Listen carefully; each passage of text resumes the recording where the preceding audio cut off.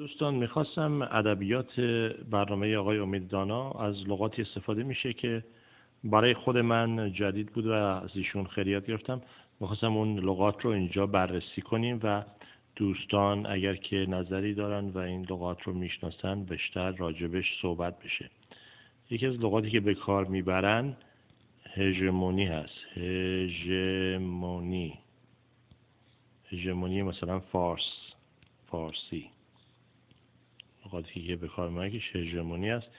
یکیش دیگهش خیلی معروفه به نام اسکولیسم سیاسی.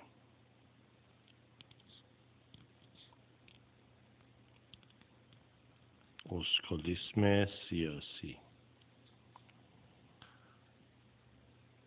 یکی از تنز هایی که به کار می‌برن در مورد افراد مخالف حکومت میگن که اینا انجمن توفنداز خاکنداز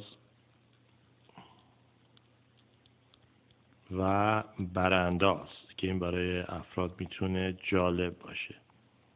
اینها از لغات آقای دانا لغات دانا.